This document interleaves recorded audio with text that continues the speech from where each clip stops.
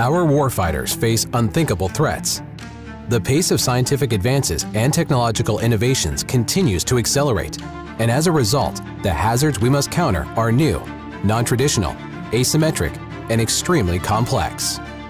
As we enter a new era of great power competition and face increasingly complex threats, we must shift our priorities and change how we operate. This transformation is necessary to prepare for surprise from emerging threats, reduce the risks they pose, and ensure the Joint Force can operate and succeed in chem-bio contested environments. The Chemical and Biological Defense Program solely holds the responsibility to develop and deliver cutting-edge capabilities for the warfighter to combat current and emerging threats and plays a key role in executing the National Defense Strategy's objective to enhance the lethality of the Joint Force.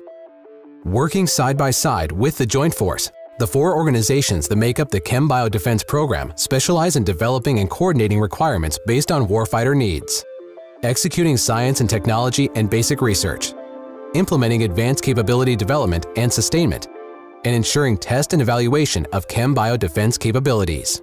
The Chem Bio Defense enterprise results from all organizations operating together as a single unit to quickly deliver revolutionary capabilities to the warfighter. The Joint Requirements Office the Joint Science and Technology Office, the Joint Program Executive Office CBRND, and the CBRND Test and Evaluation Executive all play a critical role and each one is essential to the success of the warfighter. Cohesion, coordination, and integration both within the Chem Bio Defense program and among our strategic partners are absolutely required for our collective future success.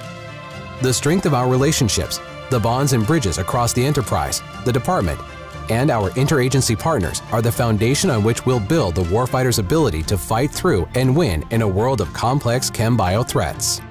We must anticipate future threats to deliver capabilities that enable the Joint Force to fight and win in chem-bio contested environments. Together, we will remain behind the warfighter and ahead of the threat.